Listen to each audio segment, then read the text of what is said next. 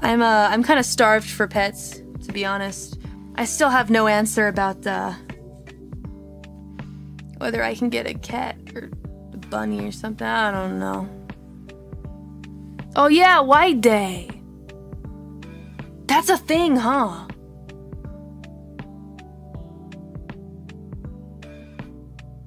I guess that happened. That's really cool that she did that. Bunny-san. I don't know. We'll see.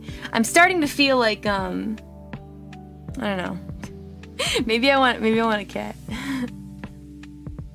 I want a cat, but I need to. I need to ask the owner first. I don't know if it's okay. And I would hate to. I would hate to get a cat, and then the owner sounds like, "Nah, you can't." And then the poor kitty. You know. Yeah.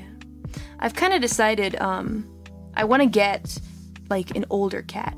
You know, one that's like you know lived out um, a pretty long life, but now needs um, you know, a place to kind of.